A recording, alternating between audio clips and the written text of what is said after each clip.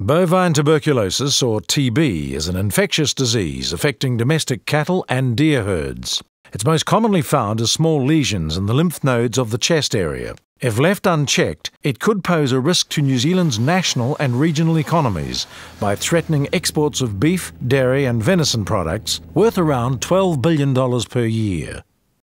We're in the business of um, selling meat and dairy products into high value world markets. And we're concerned that with high levels of TB, if the disease got out of control, we might start losing market access. Our customers would go elsewhere.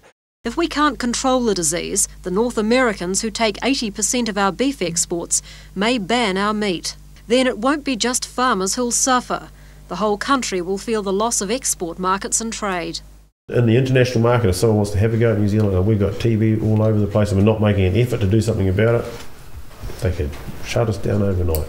You know, if we don't have uh, the the TB level down to a, a, acceptable level for our overseas markets, we can lose them. As, um, that's what's probably driven it right from day one. I think we'd suffer huge um, uh, problems with our trade.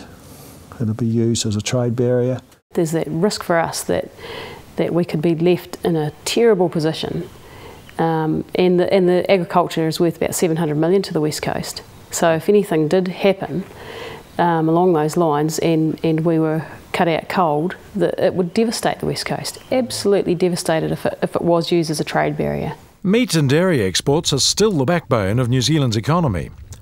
Diseases like bovine tuberculosis can have a serious effect on our reputation for high quality produce and make access to high value overseas markets difficult.